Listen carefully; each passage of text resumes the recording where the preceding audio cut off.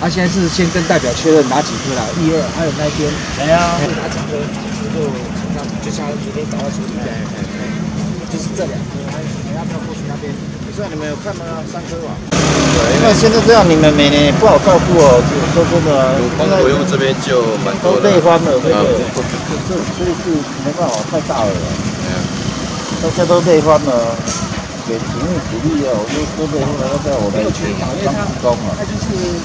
因为这个我有经验嘛，你现在这边洞挖出来吊手，哦，那个吊车要够够重的，这应该要三十吨以上的，因为呃拿回来。全掉的，哎，这个三十吨了，我那边好几个朋友啊，我好几个厂商我都会去啊。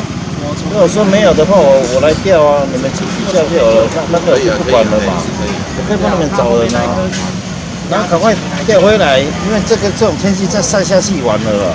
这边对，就好了，这样这个还可以的，这边还绿色的了。这敲安那年了，这边还还可以从这边冒出来了。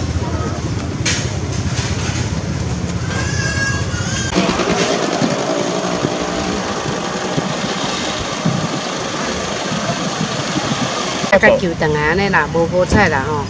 现在台顶你台东安那好山好水安尼吼，对无吼？用这树仔未倒的时阵吼，会盖凉未？盖凉盖好，空气搁好，嗯，诶，啊，这样规倒的了，你会感觉足心痛。盖热啊，心盖疼就对，嘿。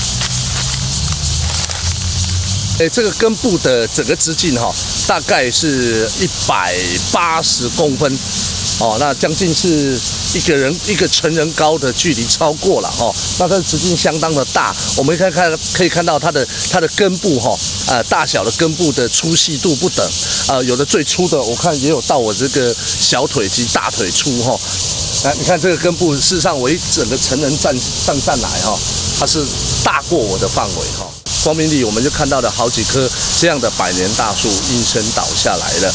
那昨天我们市民代表会的邱代表也提到，呃，发起这样的护树行动哈。